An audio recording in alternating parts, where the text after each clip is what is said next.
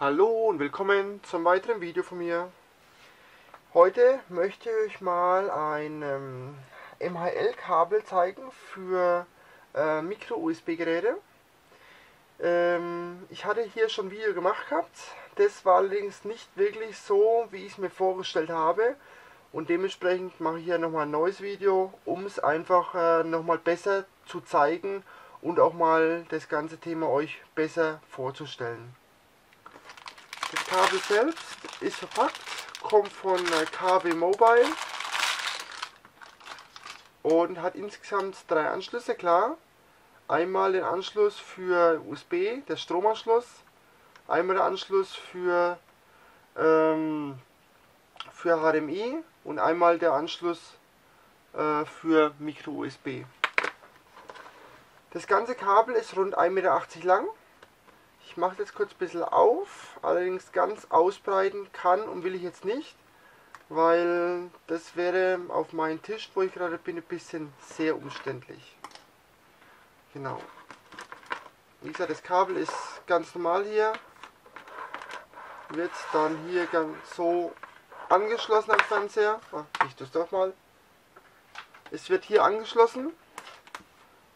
USB ist wichtig. Denn ohne USB bekommen wir dann keine Verbindung.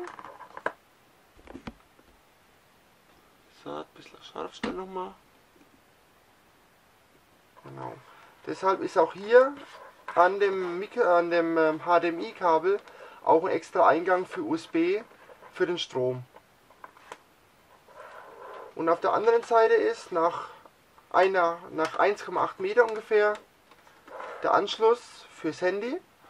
Hier gibt es zu beachten, ähm, dass das Handy auch MHL unterstützen muss. Das machen nicht alle Handys und dementsprechend äh, müsst ihr auch wirklich darauf achten, äh, ein Handy mit MHL zu haben. Ich habe jetzt hier einen Honor 6, das unterstützt es und dementsprechend würde ich euch das ganze Thema dann nachher mal vorstellen, mal zeigen am Fernsehen, wie das dann auch am, äh, in Live dann auch aussieht. Das heißt, wegen Drehen, wegen Reaktion und so weiter und so fort. Gut, das war's erstmal.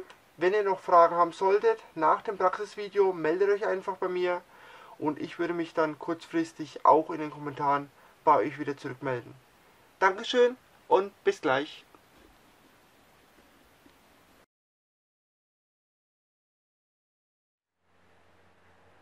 Hallo und willkommen zum Praxisvideo. Ich werde euch jetzt mal das ganze Thema vorführen anhand unseres Fernsehers und würde ich die ganzen Schritte Schritt für Schritt mal kurz auch mit äh, beschreiben und durchgehen. Zuerst muss das ganze Thema natürlich mal gestartet werden. Dementsprechend mache ich mal Fernseher an und gehe auf den äh, HDMI-Ausgang oder Eingang, den ich sozusagen jetzt da hier brauche. So, HDMI 3 brauchen wir. Aktuell ist hier ein Microsoft Stick drin. Den entferne ich jetzt mal hier kurz. Zack. Seht ihr schon? Zack. Jetzt machen wir den Stick hier rein.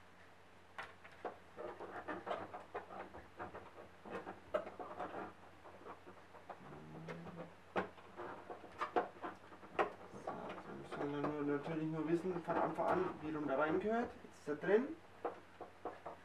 Mache jetzt noch den Stromadapter, Stromkabel ran. Die falsche Richtung. Hier ist Strom. Und die zwei Komponenten fertig.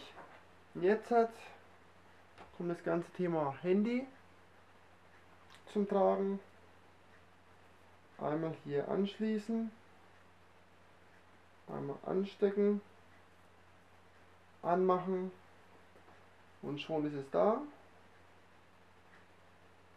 Wichtig ist wie gesagt, ihr müsst in jedem Fall äh, ein MHL-fähiges äh, Handy haben. Ich kann es leider nur hochkant, weil der Browse, der, der Launcher, der jetzt hier drauf ist, der Original, kann leider nichts anderes machen. Wir gehen jetzt aber mal kurz äh, in Bilder rein, die auch hier sind. Galerie. zulassen, ja. Alben, da sind sie zum Beispiel. Empfohlene Bilder. Wellen, wenn ich sie quer mache. Hm. Ach so. Das Bild ist hochkant, dementsprechend kann ich es nicht quer machen, klar.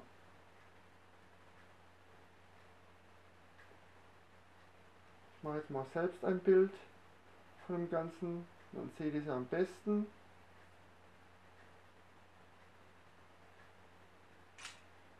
Zack. Jetzt schauen wir das Bild mal an. Und schon seht ihr, ich scroll hier rein und kann euch ganz genau zeigen, wo was ist. Und so weiter und so fort. Hier ist eine Kamera auf dem Fernseher. Hier sind die Kabel, die jetzt sozusagen unten rausführen und so weiter und so weiter. Also es ist eine sehr einfache Lösung. Wichtig ist, wie gesagt, das Thema, es muss äh, das Handy können, ansonsten bringt es nichts. Und ähm, ja, das war's dann schon. Hoffe, ich äh, konnte euch mit dem Video ein bisschen unterstützen bei eurer Entscheidungsfindung. Und wenn ja, würde ich mich einfach freuen, wenn ihr mich auch beim Video unterstützt. Ansonsten bei Fragen oder weiteren Rückfragen einfach melden und ich würde mich dann auch in den Kommentaren bei euch zurückmelden. Danke und bis dann. Tschüss.